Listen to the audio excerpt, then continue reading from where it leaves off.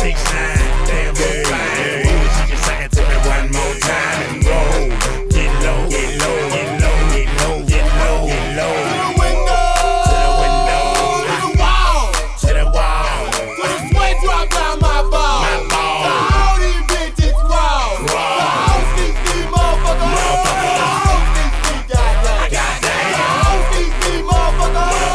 Florence with him.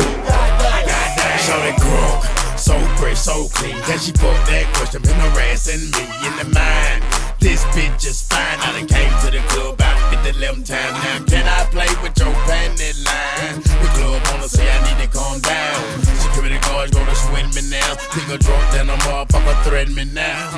She getting drunk in the club, I mean she work. And then I like to see them females work.